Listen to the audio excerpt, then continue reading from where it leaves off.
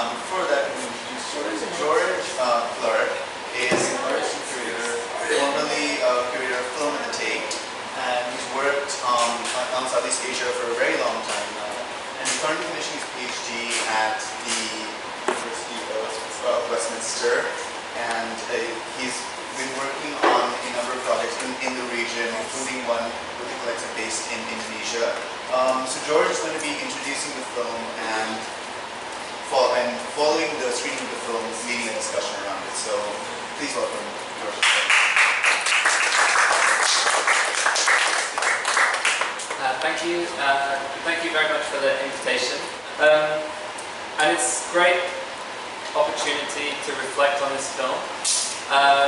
uh, which itself describes the experience in between places. This in-betweenness, uh, this emphasis on mobility, on issue of translation, uh, on interval, the gap, uh, is something that's present throughout Trinh T. Minh-ha's work. Trinh T. Minh-ha is a visual artist, a filmmaker, a composer, uh, an installation artist, uh, academic and writer. She's of Vietnamese origin but grew up and produced the majority of her work uh, in the US and North America.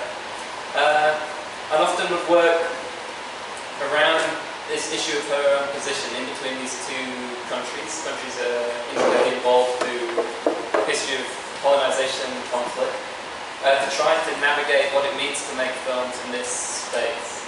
Um, her work is, if you maybe not familiar, comes out of a, a critical engagement uh, and often framed as a critical engagement with the legacy of ethnography. Um, ethnography in film uh, is generally, and also within visual arts, is a process, I think you can understand it for the, within Trinh's work. Uh, it's the process where uh, Europe and North America gave space for cultures outside of this territory. So in a way, ethnography was like an invention uh, to create a hierarchy amongst cultural production. So if you're in Europe or North America, you're an artist. Outside of that, you were uh, kind of subject of study. So your way into a museum would be through an ethnographic uh, institution. Uh, would be studied by an academic and would be presented as a kind of uh, a maker of, of objects, of works that maybe didn't exist as art practice. And this issue is also the way that film from other parts of the world started to be presented. So ethnographic film uh, was a means where other cultures were studied. And this very much tells us about the history of cinema, which itself describes the balance of power and the kind of uh, how the world was navigated through the histories of imperialism, the empire, and uh, colonial regimes. Um, and so Trinh T. Minh-ha started to work at this intersection to try to think how to work as a filmmaker, as an artist, uh, in America, but from a culture that was only ever studied uh, as a subject or as a producing object. So what would it mean to say or to articulate uh, subjectivity? Uh, subjectivity that was always taken from artists or cultural producers from her region. So her first works tried to approach this kind of rhetoric, this problematic rhetoric, uh, an issue of point of view. Um, she made a series of works in, uh, in Africa, uh, and she made these works that were then celebrated as kind of critical ethnographic works, but she at the time said she never watched any ethnographic films. But she just found a process to think about what it meant to film the other, to film habitat, to film uh, different cultures, and also to, through doing that, to question what it meant to manifest a kind of subjectivity. So her early works comes out of this kind of dichotomy or critical discussion with the legacy of the, the notion, the very idea of ethnography, uh, how to challenge that, uh, and increasingly becomes animated by not just uh, cultural subjectivity, but also her position as a female filmmaker. So what it meant to articulate work and to produce work as a female artist uh, in connection with the kind of emergent discussions around uh, feminist practice in the late 70s and 80s. Uh, so this is kind of the origins of her work. And parallel to that, she's a very important figure because not only did she make an incredible body of uh, film works. Uh, she also wrote very prolifically about the process and about her own articulation of herself, uh, her point of view, and what it means to make films uh, as an independent filmmaker coming from these different cultural positions. Uh, the film we're going to watch tonight is a later work, uh, and it also is a work where we see, uh, firstly she's collaborating with her husband, who's a French artist and uh, architect. Uh, also you see her engaging with new technologies. So the earlier works were predominantly made on 60mm film, and so engaged with a kind of cinematic legacy. Here she's shifting into a more fluid, hybrid practice, uh, thinking about the origins of uh, technology, particularly about the legacies of Japanese cultural production. It's very important when we think about video that this is uh, the first video camera, the origins of video art, comes from Japan. So it comes from the Sony Portapak camera, which is the first camera that artists used to portably film and present, present their own images. So this already sets up a kind of shift in the kind of cultural emphasis, like where maybe video is a means by which a different subjectivity is already rendered in a different geographical position. So the film Night Passages is, draws on various different cultural texts, and as happens in many of their films, kind of blends and merges between them. It's ostensibly an adaptation of a novel. It's a novel that was never finished, um, or maybe it's better to say it was finished in four different states. Um, the uh, writer Kenji uh, uh, Miyazawa, uh, left four different versions of the novel when he died uh, in 1932. And often the translations that exist of this novel either take the first draft or the last draft and try to amalgamate the two. Uh, and the novel itself is very influential. It's very influential as a, as a children's text. Text is very well known, very popular text. Um, but also attempts to reconcile different uh, cultural beliefs and both the novelist's uh, investment and belief in kind of Buddhist culture with kind of Christian iconography. So it melds different cultural texts to try and understand them. And Trinh says that her adaptation, uh, which is maybe appropriate for approaching cultural production in different geographical contexts, follows a kind of logic, not chronological logic, but a logic that maybe starts within the middle. So even though the novel itself has a kind of very pronounced opening and end, its structure is a kind of a more non-linear series of scenes. Scenes that take place on a train, a train that's kind of going through this kind of cosmic zone, uh, and a series of encounters that happen in that. But in some ways she says the novel is more important for her as an inspiration, uh, as a point to produce new work. Uh, and so really what she took, took from it is the kind of premise, the establishment and the conclusion, but then the real inspiration was how to think about a narrative mode, a mode of practice to bring together different texts to inquire things in this kind of uh, cosmic sort of journey. So the film itself is structured around a series of meetings and encounters uh, where they were kind of led through, with the kind of metaphor of the train central to that, so a passage, uh, as a mode of locomotion, a mode of locomotion that's central to cinema and the cinematic imaginary. Cinema, as we all know, begun with a projection of the arrival of a train at a station in France the Lumiere brothers presented. So cinema, the technology of cinema, the idea of motion, the idea of movement, and locomotion are kind of essentially connected.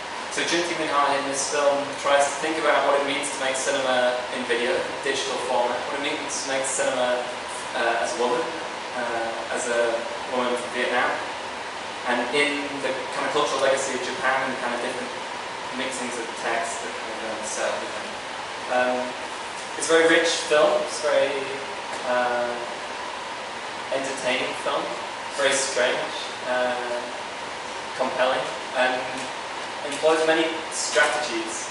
Uh, so the kind of scenes you'll see was sort of presented or understood as kind of almost in a sculptural environment. So I think it's very appropriate to be watching this film in the context of the exhibition we have here. Because it's really important to think about a type of cinema or cinematic experience kind of in the round. It's immersive and it brings different cultural texts into dialogue to try to see what can happen at the point of uh, meeting or the point of translation.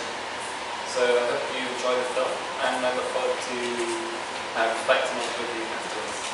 Thank you. It's very interesting prior to this screening that reading some of the reviews and articles about it. And as with many films, most of them were written at the time when it was made.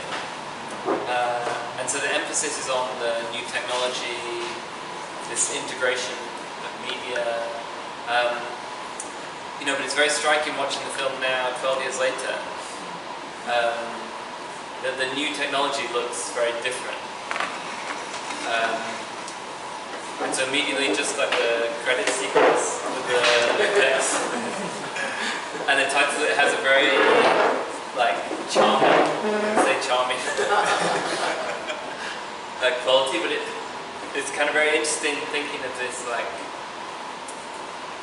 the at different points, you know, at different technologies, there's like aspiration of what this is going to mean, how you know, for this, how the arts are going to be reconfigured in a new relationship.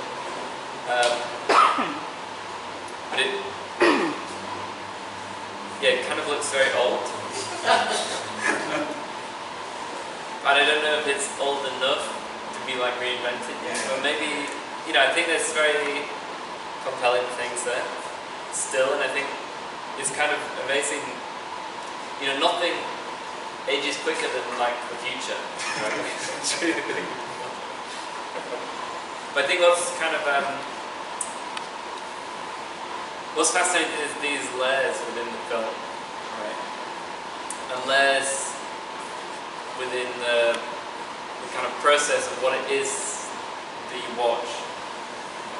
So it kind of because the origin is this text, you know, and in the end it says you know, it's not a straight adaptation; it's more inspired by. Um, and already this text, you know, 1930s was, you know, very kind of futuristic text. Um, you know, looking at the coming modernity, you know, the rapidly advancing society, the industrial society, um, and it's this cosmic trip. So it's uh, it restages sort of elements of um, experience and ideas. Stemming from like you know very traditional belief you know around the light around the movement of bodies around kind of celestial journey around ideas of reincarnation of the afterlife and of the kind of interstitial phases and that but then stages it in this like cosmic trip into the kind of Milky Way um, on a train. Um, and I was kind of thinking watching it now as well, it's really fascinating is how that the structure of the film, which is the main thing taken from the novel, by all, all accounts, um, is this idea of a journey uh, where no one really moves.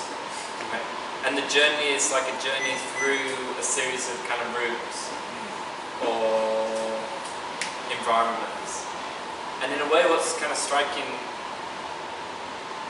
is that describes a condition that is also now very familiar to us as like uh, museum goers. Right? It's very interesting when we, you know, you look next door, and we have this suspended uh, noontime. So you have this kind of way to think that actually what, what is it that happens in the kind of contemporary gallery? Like it's also kind of a, a resting of kind of space and time with kind of cultural context. And so what the film does by kind of going back to this like Japanese text is also tries to like present I think what's what I really like and find compelling about film is it kind of tries to be uh, exhibition kind of in time. Like it's an exhibition that exists in, in a film. So what it does is it kind of leads you through a series of installations, performances, of encounters, of kind of spaces. And one of the things, the kind of aesthetic strategies then rather than have a, like this linear narrative, it kind of tries to use this idea of like the round. Right, so the camera, it starts with this like rotating camera. So you have a series of like environments, and the camera, rather than following all this, it just starts to try and look at the space. Which is also now like with Ocularis, it's like also this. So in a way, it's like already trying to imagine like a VR experience, which is now what's being presented in VR. It's like go through a series of rooms and environments and what what it is that they suggest. But what's brilliant is it kind of uses that this progressive technology to look, but explores that through this like more hybrid sort of cultural text. And actually, I think it's it sort of says like this idea of the the in kind of encounter is also something that's I mean it's like the gallery is a weird invention. I think we all need to like it's a weird idea. Contemporary art's a weird idea. um, but then what the do- film does kind of breaks that. So actually maybe you don't need a gallery. Maybe it's just like a series of spaces for kind of encounter. Um, maybe just to kind of maybe just give you some of my reflections, but maybe it would be useful to just read a very short quote from Dean Hart to maybe bring her into this. Because uh, thinking around this structure, this like the loop, she wrote this very interesting. Well, in an interview with the actually, it's a very good article by the assistant director of this film, talking about Trinity Min's hard work and also the process. And in it, she talks about the importance of the spiral. You know, if you think of like as a structuring device, as opposed to like a linear structure, this is structured around the spiral. So she said, in the spiral of movement, right, rotating camera, the kind of moving characters, in the spiral of movement, you never come back uh, to the same spot. And when there's two spirals move together in space, there are moments when they meet and when they do not. Right, so this it's not a circle, it's not a loop, it's a spiral. That's also why it's not an installation, a film. So trying to find a trajectory that allows two movements to meet as much as possible without assuming one to the other is also how she sees the process of translation. And I think that's really like in a way very really way to sort of maybe her process and that's why think it's very contemporary despite some of the aesthetic. This idea to like how to set different cultural strategies, if you could understand the spark together and see where the points where they kind of intersect or kind of connect. And that being the kind of generative principle for where these encounters kind of happen. That's what I hope I'll be very interested to see whether whether you could follow these kind of spirals of connections or maybe I wonder if anyone is familiar there's actually a manga animation um, adapted from the same novel. It's called uh, Galaxy Express 999. And maybe some, if you haven't seen it, you should really see it. It's really great film. It's like a child, you know, it's like a children's film. And this, you know, the story is very famous because it was like adapted in different texts, and because it takes this like fantastical, you know, this kind of trio, kind of fall, almost like Alice in Wonderland. They kind of fall through this portal, end up on this train, and then takes them on this.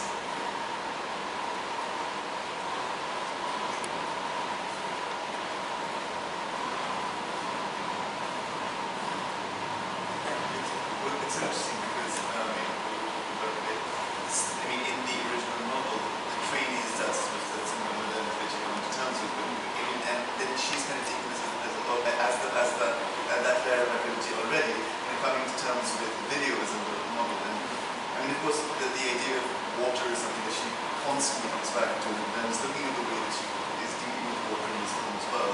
Um, and you know, this idea of how do images succeed each other in a film is something that she keeps coming back to. And I feel like, I mean, this is what they, they, we're talking about this earlier. This is the point where she switches from film to video, and this idea of how images succeed each other in video as opposed to film becomes something that she meditates on, and, and, and it becomes quite playful with as well. Yeah, It's yeah, a- yeah. And I mean, what's amazing is like, you know, she already has like a swipe. There's this one scene in the carriage where it kind of lap moves. Yeah, it's very weird see that it's like just moves. It appears to go in a loop like a zoetrope, but it just moves laterally. Uh, So it's like, oh, well, what's next? And it just goes like, plain. So in a way, there's a lot of this aesthetic techniques and play that kind of comes in. It's kind of a, like a sort of shift.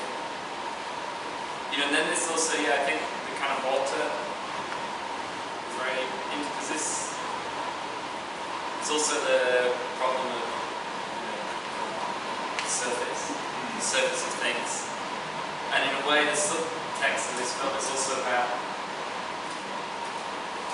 how the seduction, the seductive power of kind of illusion or fantasy. What to be wary and of that, but also the importance of that to deal with kind of trauma. Because it's very, it's, yeah, it's a very dark passage you see within the film. You know, the characters, you know, when she meets the two figures in the train right at the beginning, they're both wet. But without, suddenly right at the end where you find, realize that actually they were wet because they just drowned and died. And so it's uh, like a lot of children's stories, you know, it's a way to like allow people to deal with the problem of like mortality, what that might mean, the kind of ephemeral nature of kind of reality. It's kind of all, all there, you know, so this kind of surface play, trying to how to teach suspicion and fact. But yeah, it's very liquid, liquid, which is feels to me like we're in an age of liquid, you know, like we understand value, understand the merging of text exchange and how we capture so much work, so it's, it's a very so it which often comes in like a it's like a utopian thing. It's quite in a way it's very I was you know it's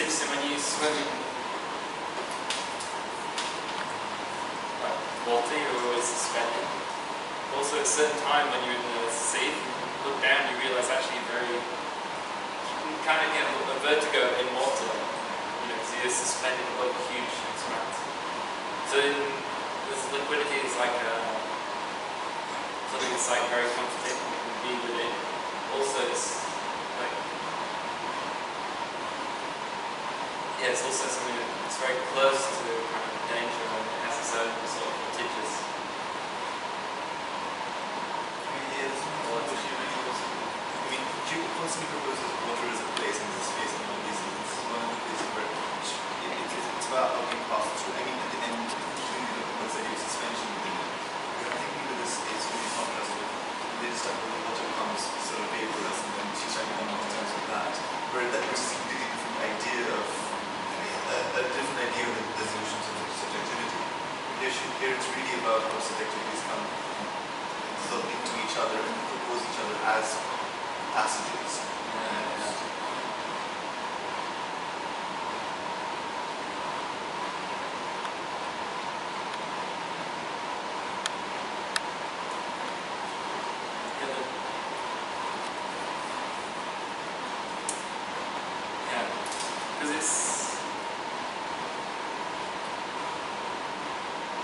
trying to understand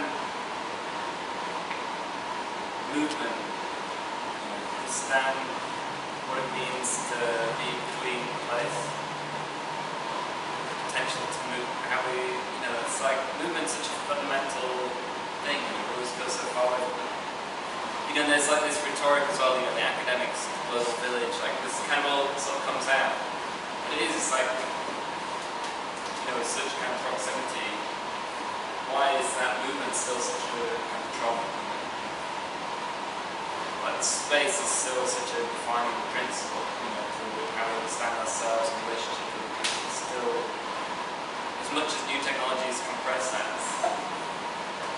so then how do you understand this like passage or movement between one place and another? And maybe, maybe the the sort of proposal is also more how do you find a way to exist in that passage. And this is in some ways what film, for me, Origins pro- broader project is to try and find a way to, outside of these sort of totalizing sort of principles, actually to say it's kind of in between, like sort of start and middle is more, but it's a much more normal point kind of entry rather than like kind of beginning and end. It's like we start middle, we start with the interval, start with fragment. That's is actually much more useful way to describe experience or relationship or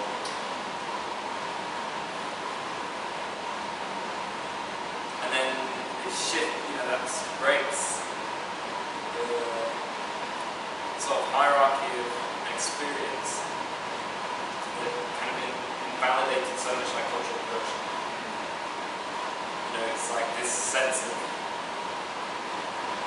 uh, you know, and this uh, whole idea about modernity then sets up a principle like who's modern, who isn't.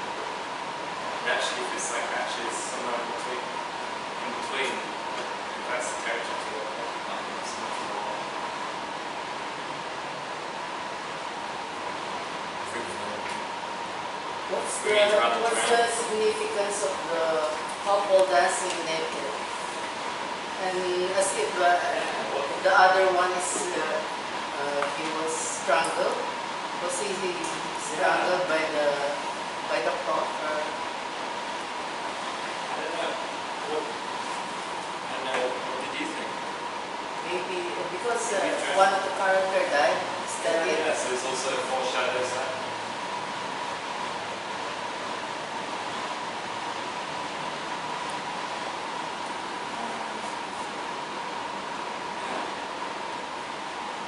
But maybe also uh, I think the film tries to make room for us as spectators to also interpret these things and to encounter them uh, maybe outside of like a direct causality. It's also to appreciate other qualities within, within it. So it's not I think it attempts a type of narrative that's not about like uh, you know causal significance. You know, this is says this and then that means what happens next. It's more about trying to find a resonance, kind of a echo, great echoes or versions. It's very interesting that yeah, there's four the novel that it's based on is incomplete. There's four different, very different kind of texts that were left after the author died.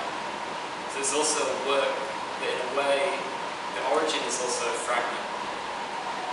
And then it's, because of that, then it's, there's, as the readers, you know, we have to interpret much more. It's not a definitive meaning or version. And in a way, I think Trinh's also trying to create a type of film emphasizes the kind of fragment and puts the kind of onus of interpretation on the kind of spectator, but also gives uh, kind of freedom, of freedom to interpret, to appreciate other elements. So maybe you can watch that and feel this foreshadows this the kind of issue of mortality through the film. Maybe you can also appreciate it just as a as a performance, abstract form. It wasn't kind of cultural, that's, the next question. So I think it's kind of all those things. I, I really don't get to watch a lot of films like this, but films in general, but like watching this, uh, I feel like the dream sequence, it's the closest I've seen that's close to the my experience when I dream. Yeah. Like you don't, like uh, there are different scenes, right? And at first look like its connection with this prior scene, this one. But in a dream you don't actually question it. Yeah. You know, if you're like just there suddenly and, uh, and you just experience it, you become become part of it. You haven't how do you call this? Uh, yeah, you just become part of it. You don't question what happened before, where is this going, you're just there that particular you know, time and space. And then suddenly you're in another you know, scene, but actually you don't question why you're there as well. What's the connection with that scene to the other one, with the previous one you were in. It's like that. So in that way I felt like it was really but you still feel that all these you know, scenes are somehow connected. Although they seem at first very disjointed. But they kind of, you know, you know, Yeah, you yeah, don't yeah. really ask the reason why, you just, you know, something like that. So that's what I find really interesting about the film. Yeah, maybe, yeah, it's like the movement. There's always movement. You know, so it feels like even if they're not connected, you, they'll be, you know, you'll move, they'll lead to something else. So one room will then open and give way to another. So way, you never really of feel trapped, like it's a dead end. Like it's always kind of feels like a part of the cycle. The way I saw it was a study on space-time and beyond, where she um, feels frustrated at her workshop experience. And then she uh, goes to a pier, she falls asleep, goes into a deep dream, and then it becomes more real and more comforting than her actual life is affecting her. Yeah, She was consulted. exactly. Yeah, yeah, And I felt that she had a series of pleasurable experiences in her series of dreams. It's, uh, it's a little bit hurtful, but very interesting. Yeah. No, I think that's really, yeah, it's very important. It's kind of that ground. It's like work and the kind of breaking law is what kind of grounds the film. Yeah, it's very interesting in your the decision to show this film. So, you know, this is the rest, the rest space for carpenters, manual workers, and this is like the daydream. It's a film about the daydream of a carpenter. It's true, it's very nice.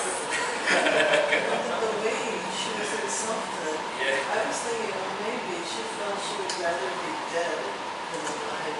To go through. Yeah. And the parallel um, to the purpose of it, we have this image of the train and we can hear, and then here at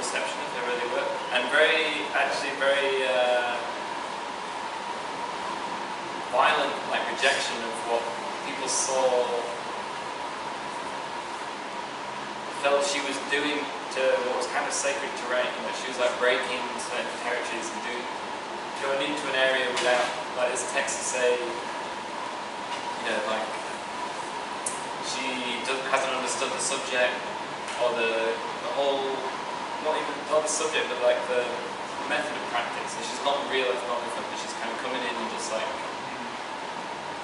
you know, destroying everything we've built. and this obviously is, you know, white male academics like feeling affronted. it's very transparent.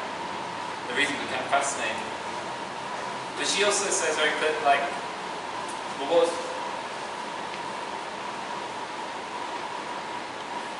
the work was received as a critical ethnography. So she said she never, she just went to make a film, like, and she said she saw very few, like, she saw very few ethnographic, there wasn't her project to kind of reflect on this language as such, but how to make a film in relationship to another culture, this is what she wanted to do. And then it was received and discussed in relationship to kind of canonical ethnographic texts, and then had this position, you know, following like Jean Rouch, so in a way,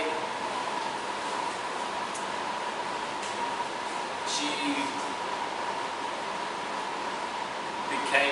a of exemplar of a certain like critical ethnography at the point of like receptions, so rather than as her project.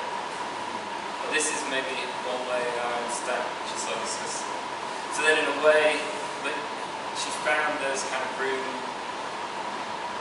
there to work. And also essentially is this issue of like how to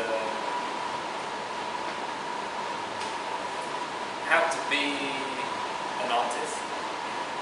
You know, how to express subjectivity when there's like her cultural tradition was not uh, as manifested in the West was not about authorship. So there's no subjectivity of the kind of the producers of ethnographic object. You know, they were like studied, but it wasn't like a the subjectivity was of a culture, not of an individual artist. So then the struggle in her work and in her writing is this around this issue of like how to say I and what's it mean to manifest subjectivity when these sort of institution of ethnography is like denied that from her as the artist from South Asia. And then furthermore compounded as a woman, you know, as a woman, also the kind of denial of subjectivity from as a kind of female artist. So in a way, like these early works of tried to deal with these different means of like manifesting subjectivity. The key, like early, one key early film, which is maybe leads to in a way, it's this film um, uh, giving uh, first name surname now given name Via, which is a series of interviews with Vietnamese women about their experiences, their subjectivity. But what's revealed in the film is actually that the women are Vietnamese, but they're, they're, they're Asian American, uh, American born. So they, they perform a version of like projected like ethnic subjectivity or something. So it's and then it's revealed that the actress is performing a certain sort of text. So what you have is like always for her like ethnographic was always performative. It was always like a way to play with surface, with image, with representation, uh, and with like ex- the expectation. And then so in a way these are like ways for her. She just it's like had to go through that process, not just like be an artist and make work in a kind of fluid, open way, and to play to play with image and the expectations or projection of that. And I, so here it's not so much as like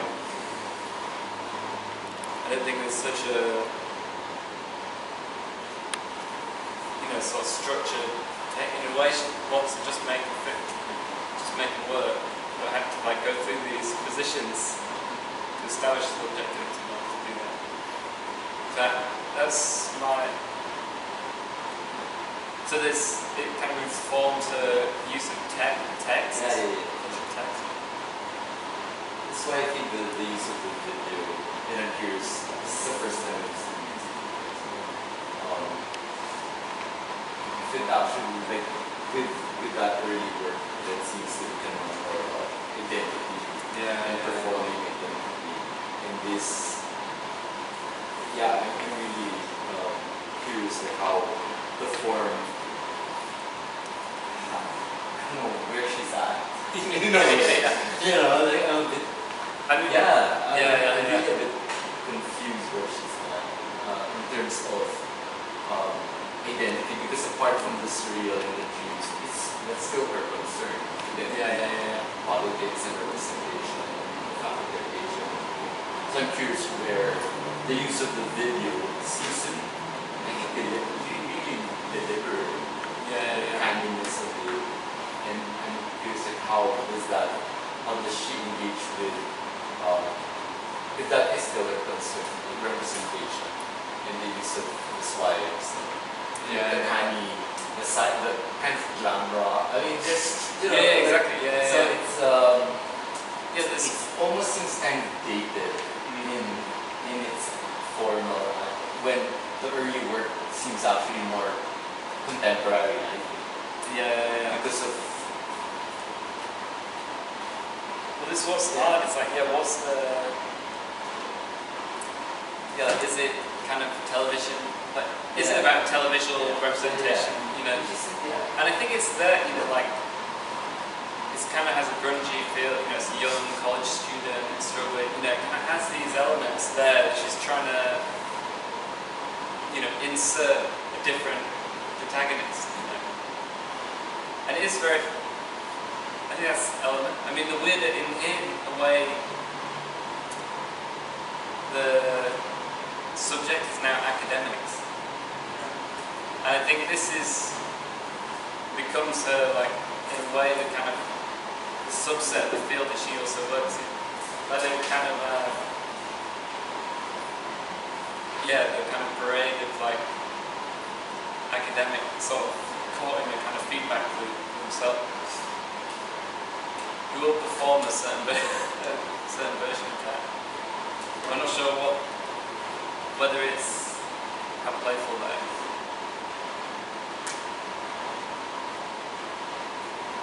It looks as though she's searching for something, Yeah. and she's trying to find means to get there.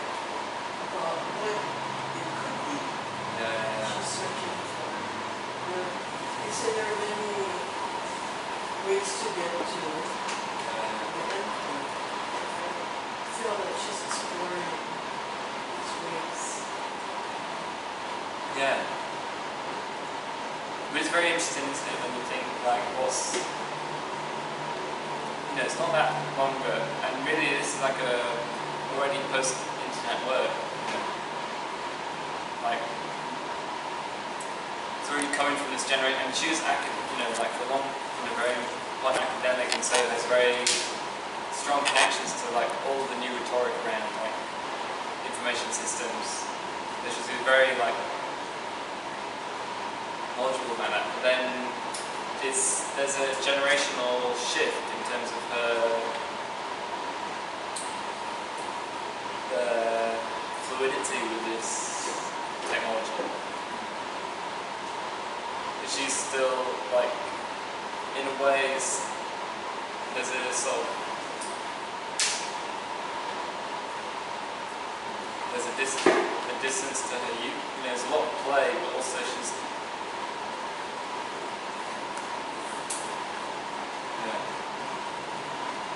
It's still, you know, this has been a very quite an expensive film to make. Like in the play with the technology, been quite still, you know, like 12 years ago. So way, when we read the reviews from the time, like, you know, it has the first scene with like just the cube window to generate this sort of train effect. People were really like blown away. And it's very you know, but yeah, it's kind of surprising how difficult it would have been to generate that, but now, in a way, you kind of don't see it.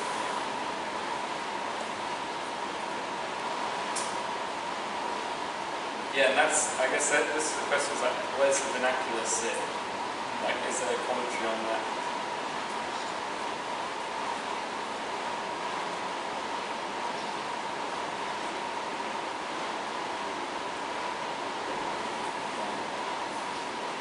I mean, what's, I guess, you know, like at this time as well, she's starting to, you know, do ins- install work. Um, and so it's, in a way, also, there is a sort of question of how central, actually starting to think about how the work can be spatialized. And similar to this time, you know, she made a, a project that was a in a corridor. So it's a passage of transition. It tried to, you know, have multiple images that could sort of move through. So this, you know, this is at this point there's this shift of a, her generation that start to really think about this like liberated cinema, you know, as a mobile expectation, and all of this text that sits in a kind of peculiar place too. But in a way, it's trying to respond to that new availability. availability.